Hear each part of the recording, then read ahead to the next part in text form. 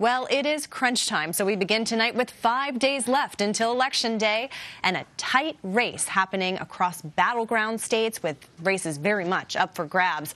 We have coverage across the country tonight, including from my CBS News colleagues. We've got Chief Election and Campaign Correspondent Robert Costa in Wilkes-Barre, Pennsylvania, and correspondent Kris Van Cleave in Phoenix. Uh, Kris, I'm going to get to you in a minute, but let's start in the Keystone State where Robert Costa has been covering that key Senate race race there. Uh, Bob, I know you're from Pennsylvania. You've been all over this race. You've been camped out in Pennsylvania for the past few days. Uh, but you had a really interesting interview with John Fetterman, the Democrat running for Senate there.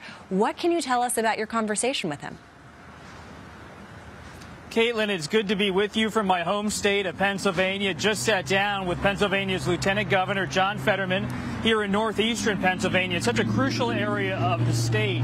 He had an event earlier today with Senator Bob Casey, the veteran Democrat who comes from this area of Pennsylvania. You see Fetterman in the closing days trying to reassure voters on issues like the economy and crime, which has been a focus of Republican attacks, as well as about his health. And I spoke to Fetterman about his recovery from a stroke months ago. Let's listen. Some voters we've spoken to in recent days say they still have some doubts about your health. What would you say to them to convince them otherwise? I, I would I would say we have, have uh, shown more and shared more kinds of uh, medical evaluation more than virtually anyone, unless you're you're running for for the president. And I've been campaigning all across Pennsylvania, been in front of thousands and thousands and thousands of people. And we've been trying to be very, very transparent. Showed up for a debate. We already knew that was going to be a challenge, given you know somebody that's in, in recovery of, of actually having a stroke. And I'm sitting within a chair with you right now to have this conversation to really just address uh, the fact that I'm absolutely set to, to serve.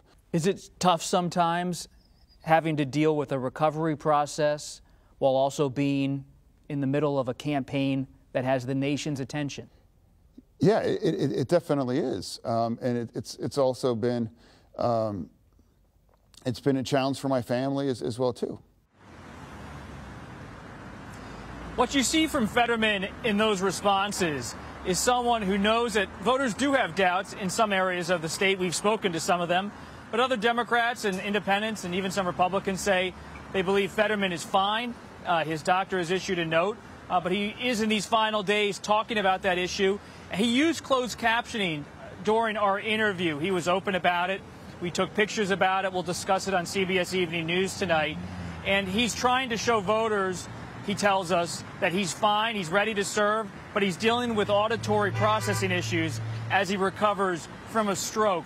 Uh, this is such a key race, Caitlin. The nation's eyes are on Pennsylvania. It could decide the balance of power in Washington next Tuesday. Uh, it's so close. Every poll shows a toss up. Mehmet Oz, we've covered him as well.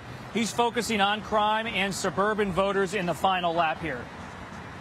Yeah, Bob, I, you know, that's a fascinating interview, and we can't wait to see more of it on Evening News uh, tonight. But I'm curious, has, has Oz been talking about Fetterman's health, or has he been focusing on issues that, that he thinks voters care about? How much is he kind of going back to Fetterman and a stroke? Oz's campaign has in the past brought up Fetterman's stroke and his health status, and that has led Fetterman to repeatedly claim that Oz has never let him forget about having a stroke. That's become a, a refrain politically from John Fetterman in the closing weeks of this campaign.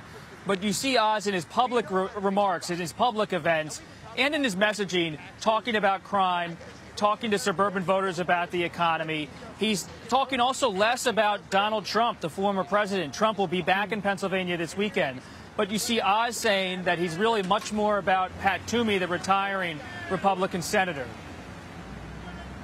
Yeah, Bob, fascinating that you have Biden, Obama, Trump all descending on Pennsylvania this weekend. Shows you how key this race is to Senate control. We're glad to have you there on the ground reporting. Look forward to more of your interview. Bob, thank you.